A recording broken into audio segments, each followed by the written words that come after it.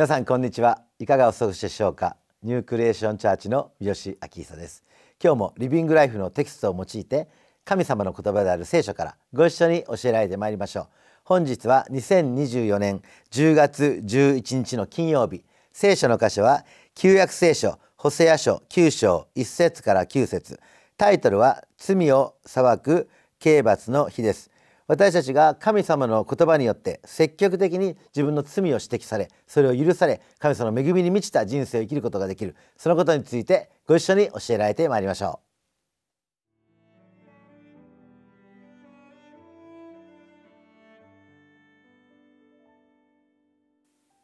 う。ホセア書9章1節から9節。イスラエルよ喜ぶな。諸国の民のように楽しむな。あなたは自分の神に背いて会員したからだ。あなたはすべての麦打ち場で会員の報酬を愛した。内場も踏み場も彼らを養わない。新しい葡萄酒も彼らを裏切る。彼らは主の地に住むことはない。エフライムはエジプトに帰り、またアッシリアで汚れたものを食べる。彼らは主に葡萄酒を注がず、自分たちの生贄で主を喜ばせない。彼らのパンは喪中のパンのようで、これを食べる者は皆身を汚す。彼らのパンは自分のためだけ。主の宮に持ち込むことはできない。霊祭の日、主の祭りの日に、あなた方は何をするのか。見よ、彼らが破壊を逃れても、エジプトが彼らを集め、メンフィスが彼らを葬る。彼らが慕う銀には、イラクサが、彼らの天幕には、あざみがはびこる。刑罰の日が来た。報復の日が来た。イスラエルに知らせよ。預言者は愚か者。霊の人は気の触れたものだ。これはあなたの大きな不義のゆえ、激しい敵意のゆえである。エフライムの見張りは私の神と共にいる。しかし預言者には、すべての道に罠が仕掛けられ、彼の神の家には憎しみがある。彼らはギブアの火のように、心底まで堕落した。主は彼らの咎を心に留め、その罪を罰する。私たちがイエス・キリストを信じる信仰をこの与えられてそして毎日この生きていくことの素晴らしい恵みの一つは私たちの心の中に精霊が住んでそして神様の言葉が語られた時に私たちは罪が明らかにされるっていうことじゃないでしょうか。このイスラエルの民はですねこの罪が指摘されていくっていうことをこの嫌がってそしてですねこの預言者が愚か者であり霊の人は気の触れたものだって言ってですねその神様の働きをですね否定していったわけですよね。ですからこの彼らは確かにこの他の諸国民の民のようにですね収穫があってそして生きてたかもしれないけども、まあ、それは偶像礼拝の結果であってですね自分たちは収穫があってそしてこのお祝いしてそして幸せにやっているっていうそういう中にただこの生きていたわけです。でも私たちがですねこのイエス・キリストを信じると私たちは自分の仕事が成功してるとかうまくいってるとかという以上に神様の前に私は何者なのかっていうことをですねいつも考えて生きるので私たちの人生がですね見た目うまくいってるとか見た目見た目うまくいってないとかそういうことではなくて神様が自分の人生をどう導いて祝福してくださってるか、まあ、そこでですね私たちは関心を持つようになっていくんですね。すると、まあ、今日読んでるテキストで起こっていくような裁きというものを私たちは免れて神様の素晴らしい祝福に生きることができることがわかるわけです。一節に「イスラエルを喜ぶな諸国の民のように楽しむなあなたは自分の神に背いて会員したからだあなたはすべての右打ち場で会員の報酬を愛した」えー、書いています。まあ確かにですねうまくいっているように見えるかもしれないけれどもでもそれは会員の結果ですね起こっていることであって偶像礼拝の結果起こっていることであってそういう報酬をいくら持っててもですね本当に楽しむことはできない。内場も踏み場も彼らを養わない。新しいブドウ酒も彼らを裏切る、ええ、まあ今うまくいってるかもしれないけれどもそれが失われる時がやってくるよ。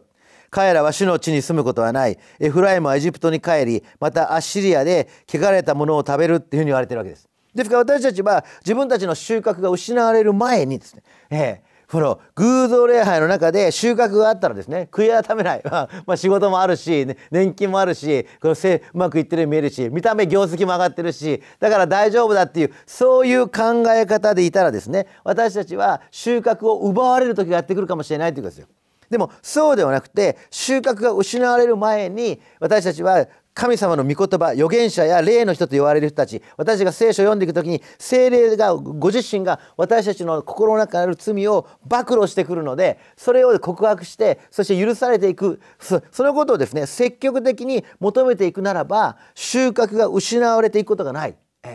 収穫が失われる前に私たちはそのことをすることができるわけです。4節に彼らは主にブドウ酒を注がず自分たちの生贄で主を喜ばせない。彼らのパンは喪中のパンのようでこれを食べる者は南を汚す。彼らのパンのは自分のためだけ主の宮に持ち込むことはできない。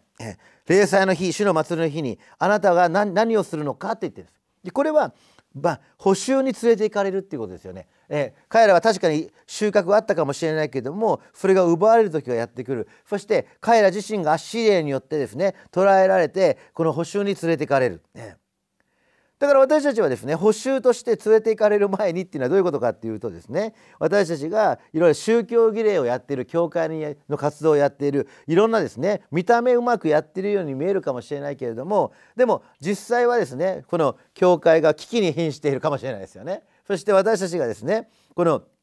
宗教儀礼がちゃんとできてるから礼拝がちゃんとできてるからだから主は認めてくれるんだくれているんだっていうそういう考えではなくて私たちは本当に教会は教会としての働きをしてるんだろうかということをですね問われる私自身もですねまあ礼拝には行ってるかもしれない祈祷会には行ってるかもしれないまあいろんなですね献金もしてるかもしれない奉仕もしてるかもしれないだから大丈夫だではなくてですね私たちが本当にこの神様の働きをしているのかどうかということを私たちは問われる必要があるんです。だからですねしばしば私たちはこの神の言葉によってまあねいろんな 聖火に行くかもしれないしこんないろんなキリスト教番組にね聞くかもしれないしそうね御言葉語られていく時にですね私たちは自分が大丈夫だっていう そういうあの見方ではなくて神様がですね私たちの心の中を照らしてダークサイドを照らしてそして見た目うまくいっているということではなくて本当に自分は何を求めているんだろうかということを問われていくということを積極的に求めていくならばですね私たちの教会もですね私たちのキリスト教の働きもですねただ活動しているから大丈夫だではなくて本当に神様の働きとして用いられていく、ね、そういうことになっていくと思うんです。6節に「見よ彼らが破壊を逃れてもエジプトが彼らを集めメンフィスが彼らを葬る彼らが慕う銀にはイラクサが彼らの天幕にはアザミがはびこる」と書いてあるわけです。預言者の働き神の霊の人の働きそういった人たちを働きをですねこの退けるまあ例えば教会だったらですね教会やってるから、えー、まあまあ、礼拝は確かにやってるけども御言葉もまあ語られてるからまあいいやってそれは形の上でやってるだけのことであってですね本当に心の中に私たちが悔い改めて本当にリバイバルを求めて本当に神様を求めているかっていうことがですねほんほん一人一人がやっぱり問われていく必要があるわけですね。でそのことができるためにイエス様は十字架で死んで3日目に磨いて天に帰その後ペンテコス精霊が与えられて信じる者の心の中に神様の言葉の働きが本当に私たちのうちに起こってくるということです。まあ、当時のイスラエルの人たちはおそらくそういうことはないわけですね。預言者の働きは退けているわけですから、えー、この、えー、でだから刑罰の日がやってくるわけです。7節に刑罰の日が来た。報復の日が来た。イスラエルに知らせよ預言者は愚かなもの。霊の人は気の触れたものだ。これはあなたの大きな不義のゆえ激しい敵のゆえである。エフライムの見張りは私の神と共にいる。しかし預言者には全ての道に罠が仕掛けられ彼の家の神の家には憎しみがあるってあるつまりですね本来はそのイスラエルの人たちエフライムの見張りをしている神のしもべたちがですねまあこのし虐げられていく退けられていくですね。でそういう状態の中ではこの神様の言葉の働きが機能していかないので形の上では収穫がある形の上では宗教活動がある。でもそれはやがて裁きの時がやってくる。でその前に、ね、私たちは悔い改めることができるということです。ですからここでまあえー、見よ彼らが破壊を逃れても6節にエジプトが彼らを集めメンフィスが彼らを葬って書いているようにですね。まあいろんな方法を通してですね裁きを免れるとしても結局はですね私たちは死んでいくんですよね。だから生きてる間にですねうまくやってるように見えるかもしれないけれども永遠の裁きを免れないわけです。だからその葬られる前にこの世での働きのその全ての意味を失う前にですよ。私たちはまだ生きてるから大丈夫だではなくて今この瞬間にですね私たちは悔い改めてそして生きることができる。そうしたらですね私たちが毎日やってる仕事毎日やってる働きその人生の全てが葬られるに私たちは葬られるかもしれないけれどもでも神様の御心によって永遠に意味のあるものになっていくわけです。9節に彼らはギブアの日のように心底まで堕落した。主は彼らの咎を心に留めその罪を罰するとあります。イエス・キリストは私たちの身代わりに十字架で死んで葬られて3日目によみがえってくださいました。それは私たちが永遠の裁きを受けることがないようにするためですよ。でもそれは単に死んだ後に永遠の裁きを受けることがないようにするだけではなくてこの心底まで堕落した状態から私たちを解放して私たちは心底まで堕落しています。という告白してもいいわけですよ。私は本当に、えー、私たちは堕落しています、えー、そして私の咎はこれです。私の罪はこれです。明確にですね罪を告白してそして私たちはいつも新しくされていく。収穫が失われる前に補修に連れて行かれる前に、えー、永遠の裁きに入る前に私たちは今日という日に悔い改めて神様の言葉を聞いたならばそのその時に悔い改めてその恵みに立ち返ることができる。その素晴らしいですね。積極的に自分の罪を言い表し神の恵みにより頼んでいく。その人生が与えられている。そのことをぜひ今日覚えていきたいと思います。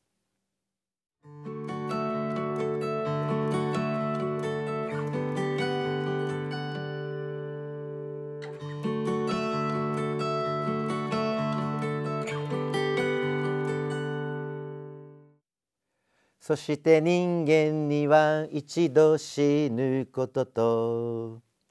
死後に裁きを受けることが定まっているようにキリストも多くの人の罪を負うために一度ご自分を捧げ。二度目には罪を負うためではなくご自分を待ち望んでいる人々の救いのために現れてくださいます。人々の救いのために現れてくださいます。いかがでしょうか？イエス様はよみがえって天に帰ってもう一度帰ってこられます。でもその時に本当に私たちはもうすでに裁きは終わった。イエス様の十字架で終わった。そのことをはっきり信じているので私たちのうちにある心底まで堕落した自分自身を発見する時それを十字架の前に出し悔い改めてそしてイエス様が帰ってこられる時本当に素晴らしい救いを待ち望んでいる人として主の前に立つことができる。そのことをぜひ覚えて今日も歩ませていただきたいと思います。お祈りします。恵み深い天の父なる神様私たちが本当に自分の心の中に語られるあなたの言葉によって精霊によって語られる言葉によって心の傷心の中にある暗闇私たちの中にある罪それを明らかにしていただいてその癒し主であるイエス様が癒しそして罪を許されそしてまた新しくされてあなたのしもべとして今日も生きることができるように。神様どうぞ一人一人をあなたの前に出るものとしてください。そしてその十字架の恵みによっていつもあなたの愛によって恵みによって祝福によって生きるものとして今日も導いてください。主イエス・キリストのお名前によってお祈りします。アーメン。